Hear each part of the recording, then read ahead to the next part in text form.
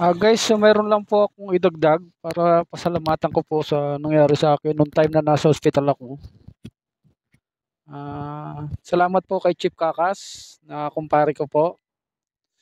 Siya rin po ang isa sa tumulong sa financial sa akin. Nung time na nasa ospital po ako, dinala niya sa bahay yung tulong at hindi po maliit yon. Hindi po maliit yung para sa akin. Kasi sa lugar namin, siya talagang tatay-tatayan ko. Si Chief Kakas, si Mario Kakas, isa pong retire na Navy. Ah, salamat.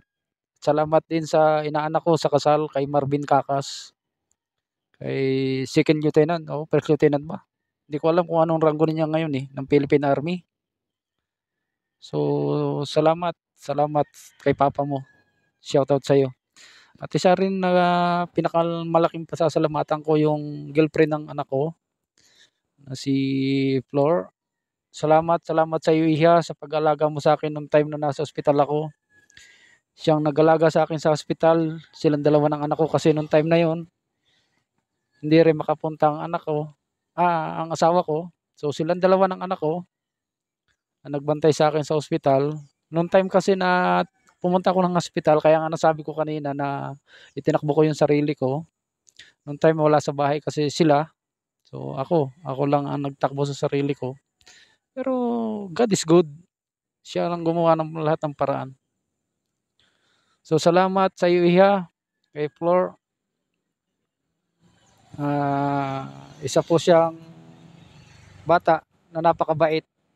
Salamat, salamat sa iyo Iha. Salamat at ikaw ang nakilala ng anak ko. Salamat.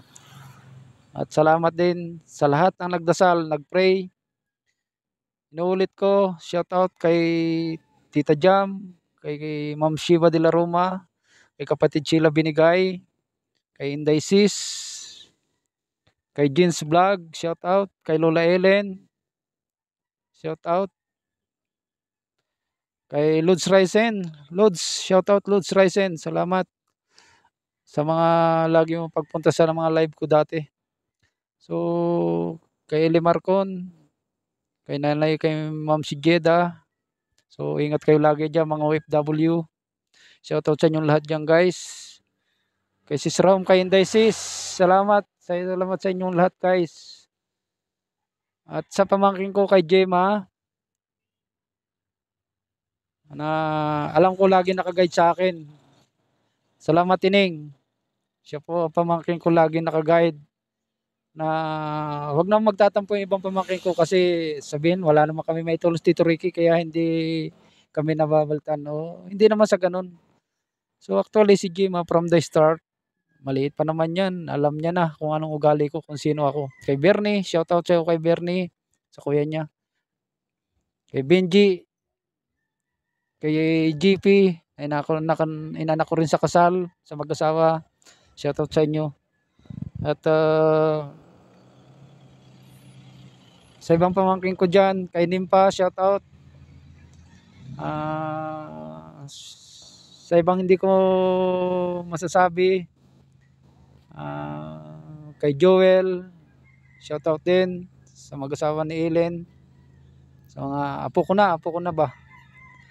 Shout out sa inyong lahat dyan guys, sa mga nag-pray. At i-pray nyo pa patuloy na paggaling ko.